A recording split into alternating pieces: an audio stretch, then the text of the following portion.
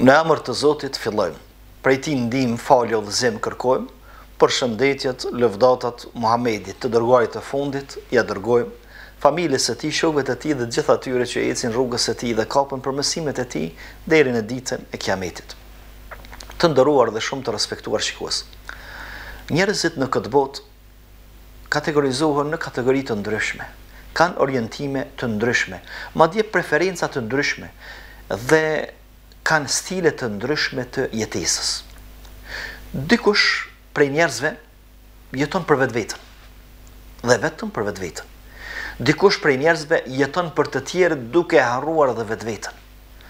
Dikush nuk jeton as për veten as për të tjerët, po bëhet barrë e të tjerëve, ndërsa disa të tjerë jetojnë edhe për vete dhe për të tjerët. Nuk ka dyshim që kjo kategoria e fundit është më e mira.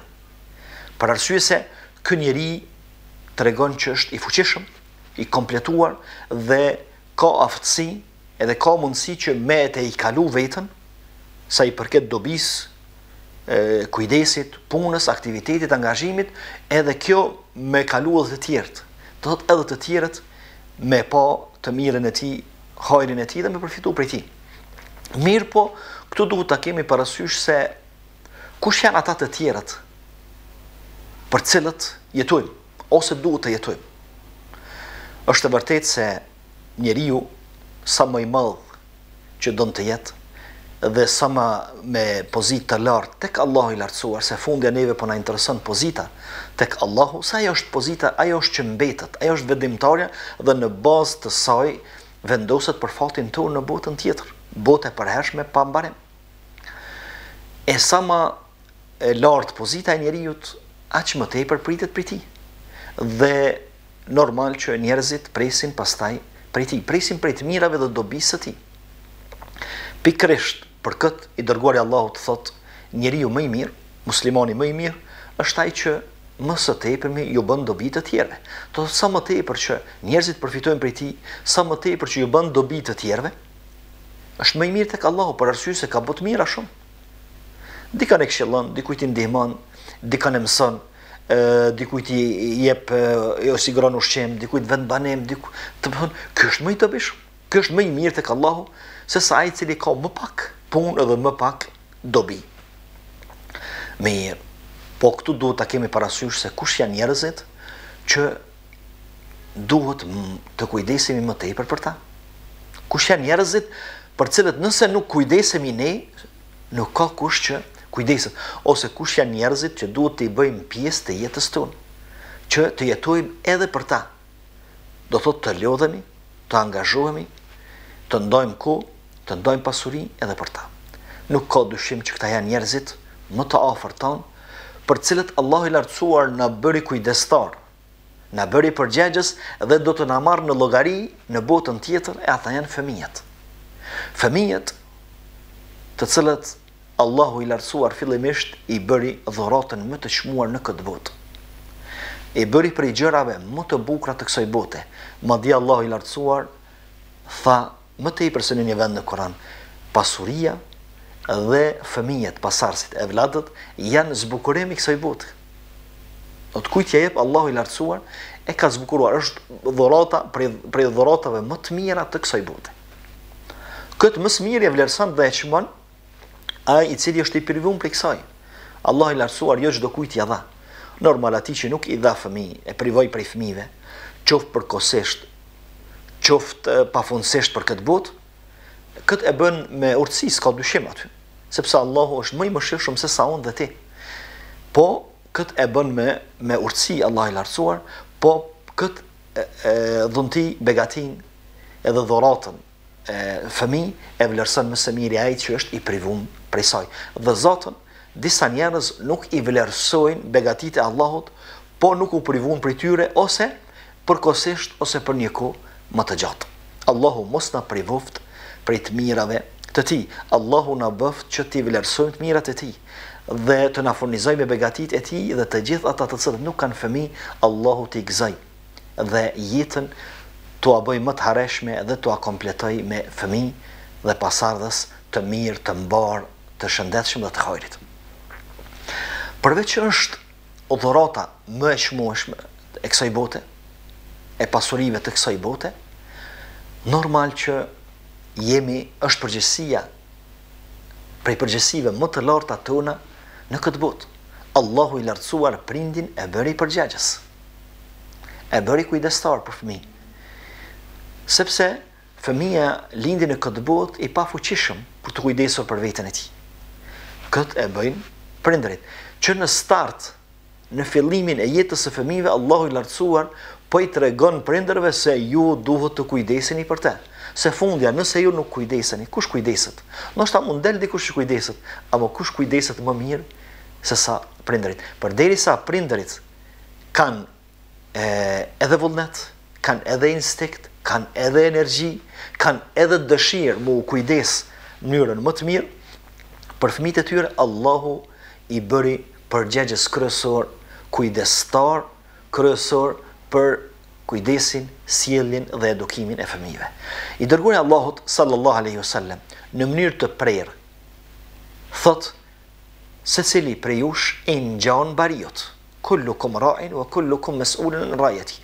Secili prej juve, prej njerëzve në këtë botë i ngjan bariut. Bariu e ka një kope, qoftë dele, qoftë lopë, për të cilat duhet mu kujdes. I nxjerr në kullosa, kujdeset mos po sulmohen nga egërsirat, mos po lëndohen dikun edhe i kthen te shtëpia ashtu që i ka, që i ka nxjerrë. Në këtë formë po e përgjason i dërguari i Allahut përgjegjësinë dhe kujdestarinë e prindit ndaj fëmijës. E, e pikërisht për këtë, po thotë, secili prej jush është kujdestar për tufën e tij. Prindi është kujdestar për fëmijën e tij. Duhet të jetë kujdestar. Duhet të kujdeset. Sepse këtë kujdestari na e ka lënë Allahu i lartësuar, i cili kërkon llogari. Sepse Allahu i caktoi gjërat në këtë botë. E caktoi jetën tonë, na nxori në këtë botë, mirëpo kërkon llogari prej neve. E përderisa na caktoi kujdestar, na bëri kujdestar për fëmijët, do të kërkojë llogari prej neve. Dhe kështu duhet ta kuptojmë këtë porosi të pejgamberit Alehi Salatu Selam. Secili nga ju i ngjan bariut të kopesë. Do të thotë, është kujdestar i diçkafit, kujdestari për të cilën ka me dhënë llogari në ditën e gjykimit. Pastaj fillon pejgamberi alejhi salatu vesselam me i nda kujdestaritë dhe llojet. Disa i përmend disa kujdestari. Thotë prindi është kujdestar për fëmijën e tij. Gruaja është kujdestare për shtëpinë e burrit. Sepse burri duhet dal jashtë shtëpisë, të punojë shumicën e kohës e kalon jashtë. Kush kujdeset për shtëpinë? Kush kujdeset për për fëmijët? Domethënë gruaja është ajo që duhet të kujdeset edhe kjo kujdestari pastaj nënkupton dhënien e llogarisë për të. Edhe në fund e përfundon që secili është kujdestar dhe do të merret në përgjegjësi për atë që është lënë në kujdestari dhe në përgjegjësi. Në këtë formë po na e shpjegon Allahu i lartësuar dhe misioni i prindit është një prej misioneve më të rëndësishme në këtë botë. është një prej misioneve për të cilat ka fol Allahu i lartësuar shumë në Kur'an. Ka fol i dërguari i Allahut. Sepse Prindi është ai që më së miri e orienton, më së miri e drejton fëmijën e tij. Sepse më së shumti e don. Edhe për këtë Allahu i lartësuar prej tij llogari kërkon. Në një vend tjetër Allahu i lartësuar thot o ju që keni besuar, ruani veten tuaj dhe familjen prej zjarrit të xhehenemit. Ruani veten, do të thotë secili njeri duhet ta ruaj veten. Sepse ne besimtarët muslimanët Besojmë fuqishëm që ka xhenet dhe xhehenem që janë të krijuara në botën tjetër.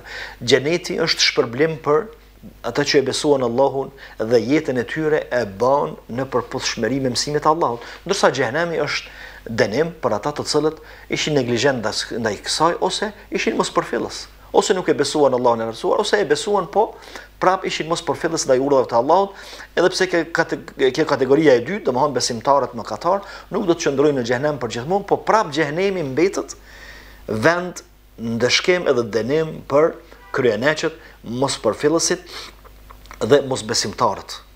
përderisa Xheneti mbetet vend i shpërblimit për besimtarët dhe për gjithë ata të cilët e respektuan porositë e Allahut të Lartësuar. Çka do të thotë kjo? Kjo do të thotë që njeriu, sikurse duhet ta ruajë veten e tij, duhet t'i ruajë edhe fëmijët.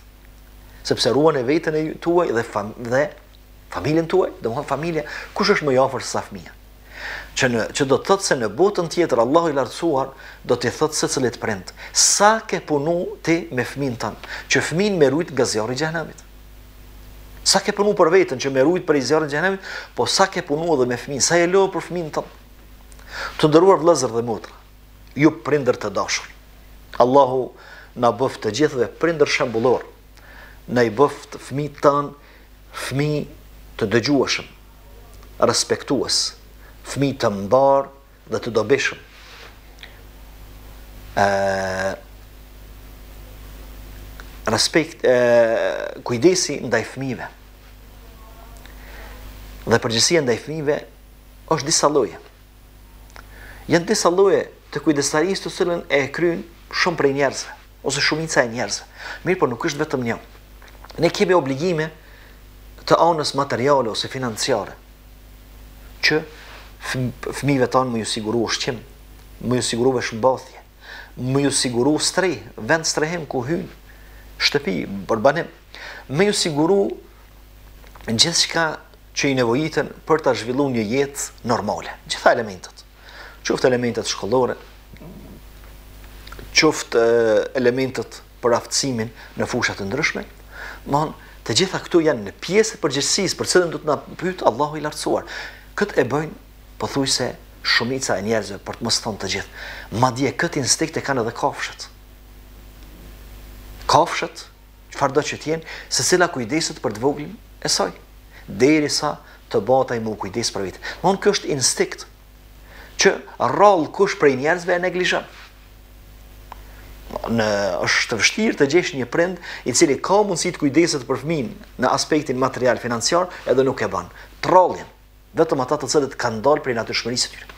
Pastaj kemi kujdestari dhe obligueshmëri ndaj prindërve në aftësimin, e, arsimimin, edukimin e tyre. Edhe këtë duhet ta bëjmë. Edhe ky është një obligim që fëmijëve tanë t'ju sigurojmë ambient sa më të mirë, sa më të sigurt, që jetën ta kuptojnë sa më mirë. Kur e kuptojnë jetën ata më mirë? Kur janë të edukuar, kur janë të arsimuar. Këtë e bëjnë, këtë e bëjnë më së miri, këtë obligim e ka dhe prindi. Ndërsa këtë nuk e bëjnë të gjithë njerëzit. Po nëse të gjithë prindërit nuk janë në gjendje ta bëjnë këtë, duhet të ndihmohen. Duhet të ndihmohen. Ta, ta ndërlidhin këtë aspekt me aspektin financiar. edhe material, edhe të harxhojnë prej pasurisë së tyre për t'i siguruar njerëz adekuatë të cilët ua sigurojnë e, arsimimin, edukimin, zhvillimin intelektual të tyre. Dhe në sajë të kësaj sot funksionojnë shkollat, universitetet, kolegjet e ndryshme, kurset e avancimit, gjitha këto janë Jo çdo prind mund të të me i kry këto, mirëpo, shumica e prindërve të cilët qëndrojnë mirë ekonomikisht, munden me, me i siguru e, një trajtim të tilë fëmijëve të tyre. Mirëpo, është edhe një përgjegjësi tjetër të cilën pjesa dërrmuese e prindërve e neglizhojnë. Ajo është edukimi fetar i tyre. Të edukohet fëmija për ta besuar Allahun, ta njohë Allahun dhe t'i nënshtrohet Allahut të lartësuar. Kjo është ajo ana e përgjegjësisë së prindit të cilën shumë prej prindërve e neglizhojnë. Shumë prindër gëzohen kur fëmijët e tyre arrijnë suksese, qoftë në sporte të ndryshme, qoftë në mësime të ndryshme, qoftë në shkollim, mirë. Gëzim është mirë, po jo të gjithë prindërit e kanë këtë gëzim nëse fëmijët e arrijnë një sukses në anën fetare ose në edukimin fetar. Ose nuk ju bën përshtypje pse fëmija i tyre nuk e njef Allahun. Nuk i bën përshtypje, nuk i bën përshtypje shumë, edhe nuk e merr për të madhe pse fëmija nuk nuk e beson Allahun ose nuk e beson qysh duhet, ose është i painteresum totalisht për me e msu fenë, edhe me u lidh me zotin e tij. Përderisa, nëse një notë më të ulët, sesa ajo që e ka prit e merr fëmija, kris kijameti. Mirë, domethënë kjo tregon që niveli i i përgjegjësisë dhe i kujdestarisë është, mirëpo në aspektin e edukimit të tyre në në fusha të përgjithshme në shkencat dhe lëmitë që kanë të bëjnë me jetën e kësaj bote. Mirëpo ku është edukimi i tij me botën e përhershme? E kur Allahu i lartësuar po i thotë njeriut besimtarit, ruaje veten tënde dhe familjen prej zjarrit të xhehenemit, domethënë ruaje fëmijën tënd, edukoje, siguroji edukim, edhe zhvillim intelektual fëmijës që ta kuptojë rrezikun e dënimit në zjarr të xhehenemit. Ta kuptojë rrezikun e mospërfilljes së urdhrave të Allahut.